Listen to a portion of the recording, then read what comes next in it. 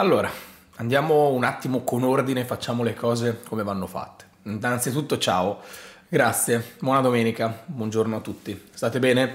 Allora, cerchiamo di riposarci, di ricaricare le batterie fino a questa sera, quando poi ci troveremo qui alle 20.30 per fare insieme la, la solita live reaction su Twitch il post partita su YouTube e poi ci saranno le pagelle, ci sarà la live reaction rieditata, magari qualche altro contenuto di ragionamento e approfondimento e magari un'analisi della partita, anche se non so se l'avete notato, ma immagino di sì, da, da quando c'è stata la penalizzazione, quindi da um, due o tre mesi, di analisi post partita ne faccio poco, solitamente faccio delle analisi pre partita perché Credo che il tifoso della Juve oggi abbia poca volontà di parlare di calcio giocato per quanto riguarda la Serie A, perché ovviamente eh, si sente, tra virgolette, privato della gioia della competizione, come dovrebbe essere in uno sport, perché quella penalizzazione in mezzo al campionato ha fatto male, malissimo, alla Juventus, alla competizione propria, vera e propria italiana, e ormai se ne sono resi conto tutti, anche eh, altre squadre ora parlano di campionato eh, falsato per via delle penalizzazioni all'interno della stagione, ovviamente quando fa più comodo e quindi tradotto quando poi i punti sono stati restituiti alla Juventus, però bene o male tutti sono d'accordo sul fatto che la competizione quest'anno è stata alterata con quella penalizzazione di 15 punti.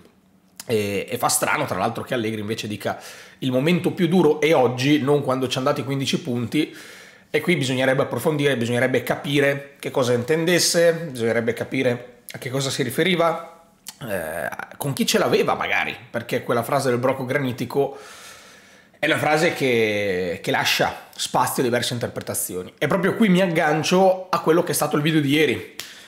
Eh, sarò anche qui molto onesto, quando ho registrato un'ora e 05 di video, mh, mm, dopo che ho premuto il tasto stop, mi sono messo le mani nei capelli e mi sono detto, vabbè, ma secondo te, ma chi lo guarda? Invece il video, ve lo voglio dire, in tempo reale, il video è andato non bene, di più, di più.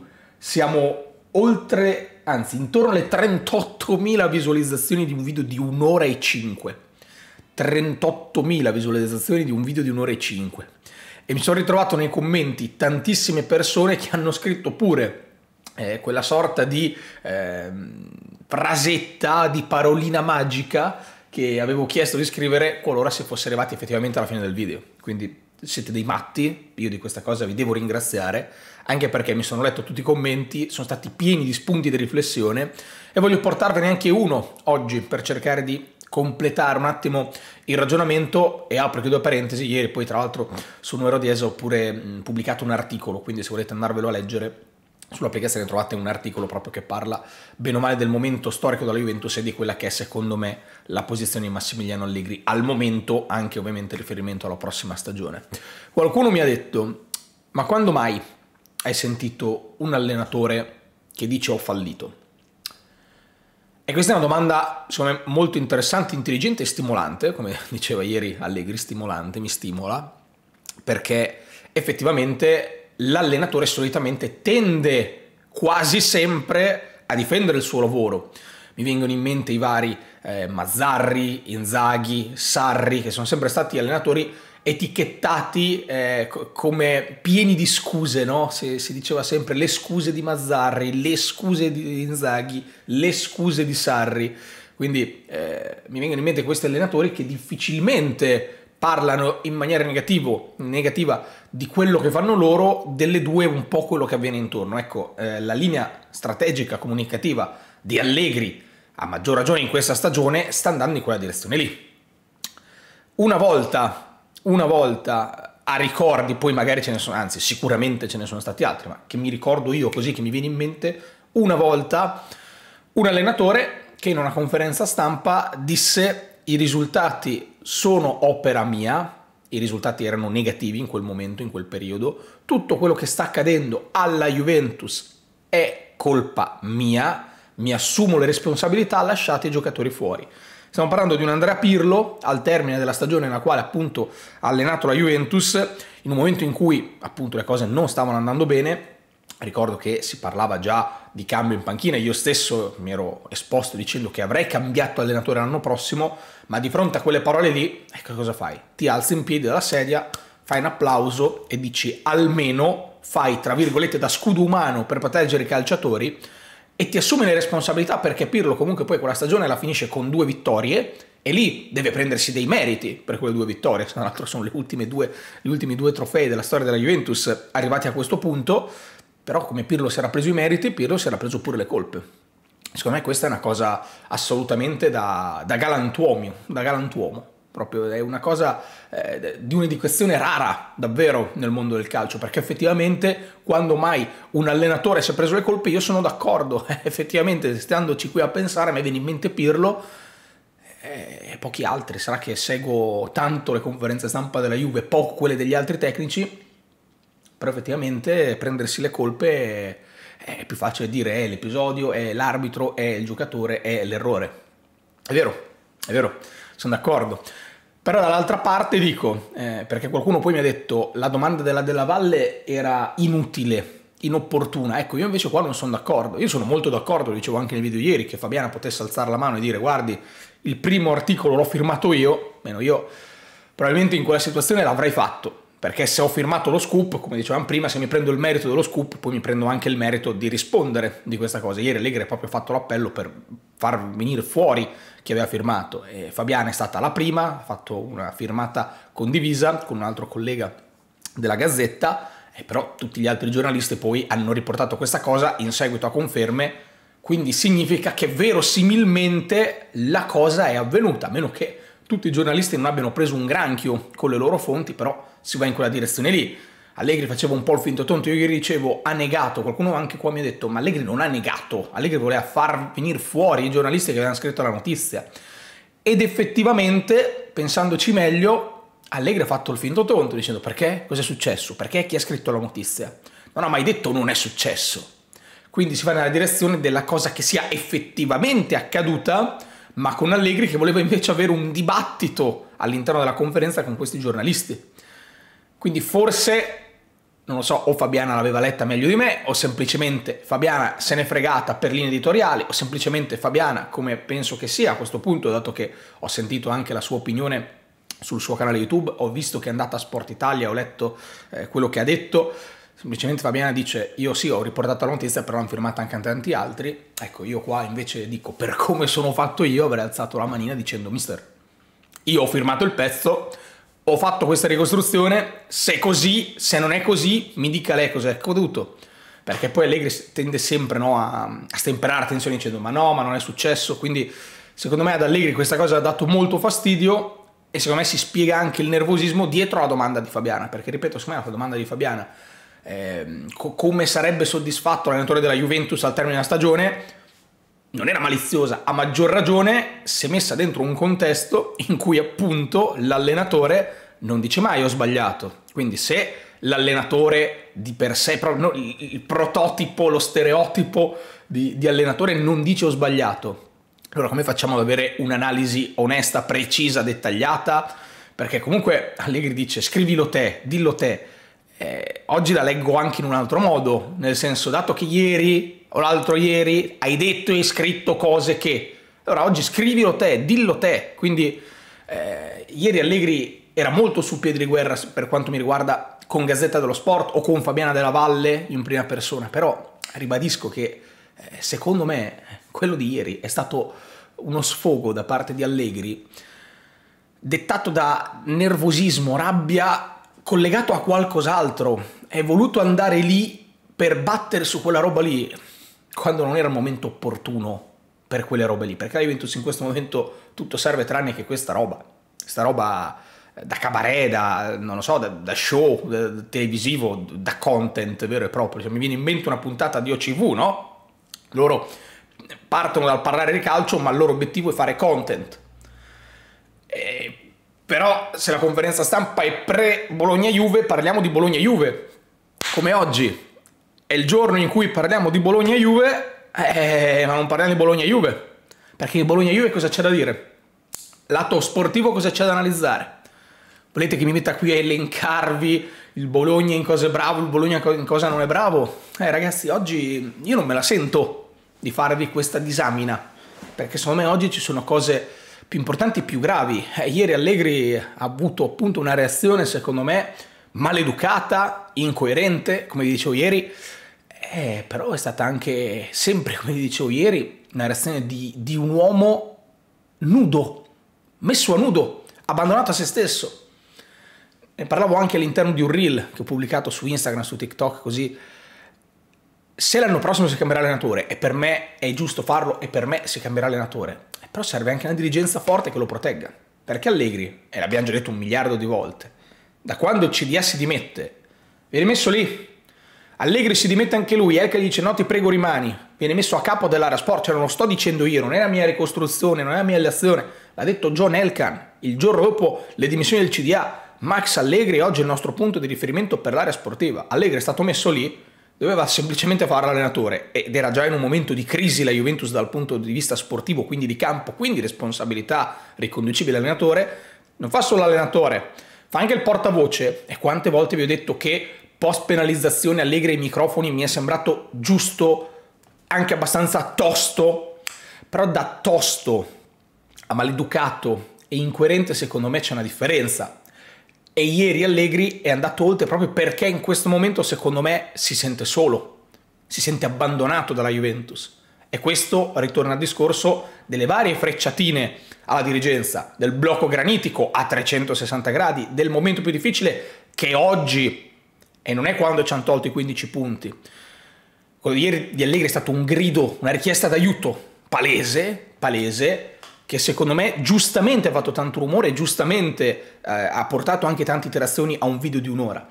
Quindi oggi non me la sento di parlarvi di Bologna-Juve, perché di, di cosa possiamo parlare di Bologna-Juve? Oggi ci sono dei problemi più grandi di Juventus e mi riconduco anche alla notizia di oggi, che era nata ieri, perché ieri Di Maria non viene convocato, e oggi tutto sport e Gazzetta dello Sport parlano di infortunio politico. Cioè, Di Maria ottiene la pettorina ehm, per, che accompagna no, i giocatori che fanno panchina e nel momento in cui ottiene la pettorina Di Maria fa notare che ha un problemino alla caviglia. Questa è la ricostruzione di tutto Sport e Gazzetta, come prima. Io non so se è accaduto davvero, perché come non so se è accaduto davvero lo sfogo nello spogliatoio, non so se è venuto davvero Landucci che parla con Spalletti, io non lo so. Eh, però ovviamente poi gli uffici stampa della Juventus servono a questo, no? A smentire queste notizie. E secondo me qua ci troviamo di fronte a due problemi. Il problema dell'informazione sportiva in Italia, che poi è il problema dell'informazione in Italia, punto. E io che sto prendendo il patente una giornalista, vi posso assicurare che mi sto interrogando spesso su, sull'importanza del lavoro che poi un giorno potrei andare a svolgere, perché credo che sia un lavoro molto importante, ma non voglio eh, annoiarvi con questo discorso in questo momento perché è molto lungo e complicato e sono miei pensieri personali sparsi. Dall'altra parte il problema della Juventus stessa che si fa passare sopra tante volte, si fa andare bene tante volte eh, e tutti possono dire quello che vogliono all'interno eh, dell'Italia nei confronti della Juve, mai che si intervenga, mai che ci sia una smentita, viene eh, definito mh, una sorta di, eh, di superiorità sabauda, no? della modalità sabauda, il modo di fare sabaudo. Eh, però a una certa, secondo me, bisognerebbe anche iniziare a difendersi seriamente. Quindi, se pensi che eh, quel giornale stia riportando un'informazione fasulla, ufficio stampa della Juventus che esce con un comunicato e dice in relazione a quanto scritto sui giornali, Juventus smentisce o direttamente ai giornalisti e ovviamente se poi Juventus mentisce il giornalista invece scrive comunque il falso, poi Juventus potrà intervenire per vie legali, per diffamazione, per creazione di, di discussioni che vanno a destabilizzare l'ambiente. E se Juventus non si muove da questo punto di vista, il giornalista fa una ricostruzione con le fonti, le fonti vanno in quella direzione e Juventus non dice niente, secondo me poi è anche stupido prendersela col giornalista che ha scritto un pezzo. Questo è il mio modo di vedere le cose, perché stamattina leggevo, eh ma voi credete davvero che Di Maria abbia fatto questa roba? Io non lo posso sapere, io non sono qui a dirvi è successo, ma nemmeno sono qui a dirvi non è successo. Al massimo posso darvi la mia opinione. Eh, io in questo momento pensare che uno come Di Maria possa aver tirato i remi in barca in campionato, mm, sinceramente fatico a dirvi no, non sarà mai accaduto al mondo, lo trovo abbastanza plausibile. lo trovo abbastanza plausibile. Perché eh, io ve l'ho detto anche, anche nel momento migliore di Di Maria, eh? Io sono innamoratissimo di Maria, lo sapete, ma nel momento migliore di Di Maria io vi dico, bene, ora che vedo questo Di Maria, perché il mondiale è finito perché ha vinto il mondiale, magari era quello, magari non era in condizione, io però ve lo dico, nella prima parte di stagione ho avuto l'impressione che la squadra giocasse contro e che Di Maria fosse uno di quelli che giocava contro. E mi ricordo che in questa cosa sono stato molto abbandonato a me stesso. Tanti mi dicono no, impossibile, no, Di Maria professionista. Eh, sono d'accordo, Di Maria professionista, certo. Eh, però a me Monza Juve sta ancora qua. Io Bologna Juve di oggi la vedo come Monza Juve, identica. Partita che arriva dopo dichiarazioni dell'allenatore eh, rivedibili, evitabili, e con Di Maria che si chiama fuori. Poi magari Di Maria ha davvero un problema alla caviglia. Viene da dire, speriamo che Di Maria sia effettivamente infortunato.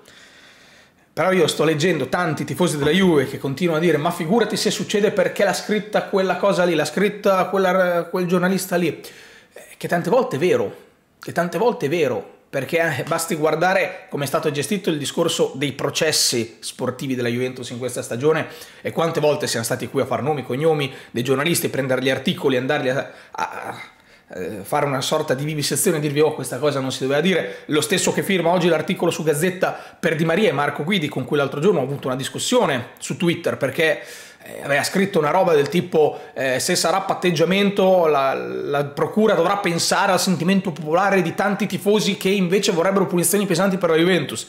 Che cosa mi significa? Che cosa mi rappresenta? Che cosa vuole dire? Che cosa vuole dire? Mi sembra una roba assurda, ho voluto approfondire, lui ha difeso il suo articolo, per me quello è un articolo che non ha ragione di esistere.